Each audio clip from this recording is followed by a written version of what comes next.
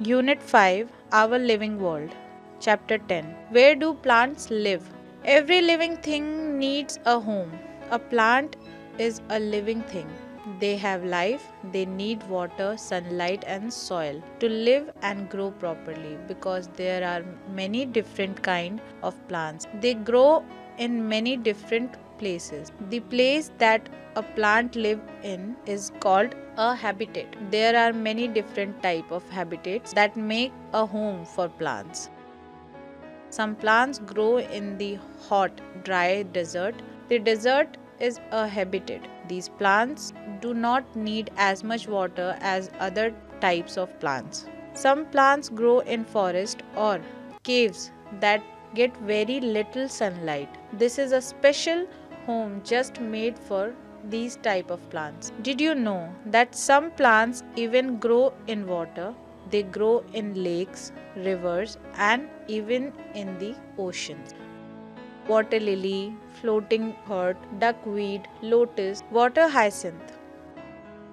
On the basis of habitats, all plants can be broadly divided into two types terrestrial or land plants, aquatic or water plants.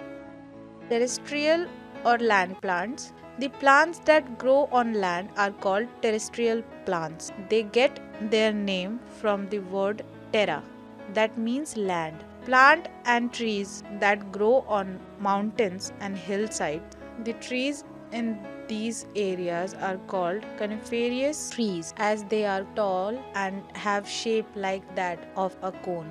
The conical shape helps snow to slide off their branches. Pine, deodar, and fir are some such trees. They have leaves throughout the year and are called evergreen trees. Plants and trees that grow in the plains. The trees in the plains have features to suit their immediate environment, as there are trees with large flat leaves like poplar, peepal, mango, ashoka, etc. The surface area allows plenty of evaporation and keep them cool. Plants that grow in deserts. Water and rainfall are scarce in the desert. So plants growing in these regions have stems that can store water like cactus. Some plants in the deserts have long roots so that they are able to go deep into the soil to absorb water.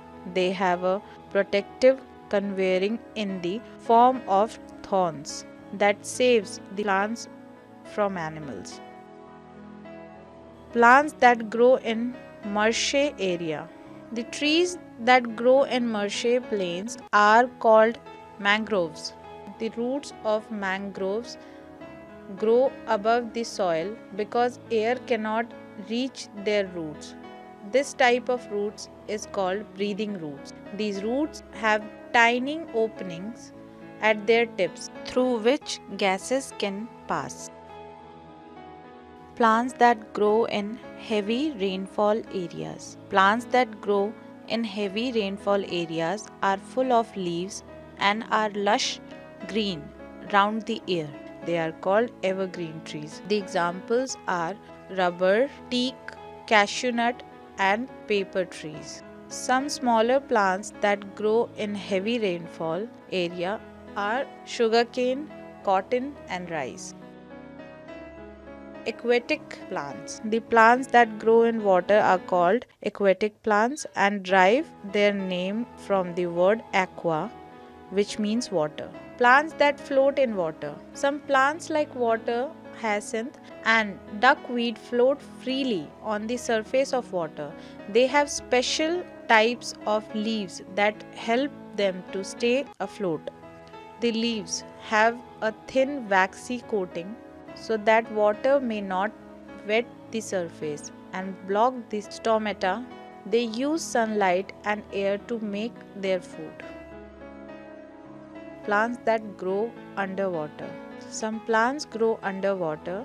Tape grass, pondweed, and hydrilla are such plants. Their leaves have no pores or stomata and they breathe through their surface. These plants are flexible and can bend easily with the flow of water. Plants that are fixed in water. Some plants like water lily and lotus get their roots fixed in the waterbed. Their stems are hollow and light so that the flowers and leaves can float on water. They breathe through the pores of stomata on their broad leaves. Some special plants. Plants like mushroom, molds and fungus, yeast do not contain chlorophyll. They are not green. They are non-green plants. They cannot make their own food. They get their food from dead and decaying matter. They are called saprophytic plants. Some plants, like the Venus flytrap and the pitcher plant, are insect eating plants. They are called insectivorous plant. The leaves of Venus flytrap is like a trap.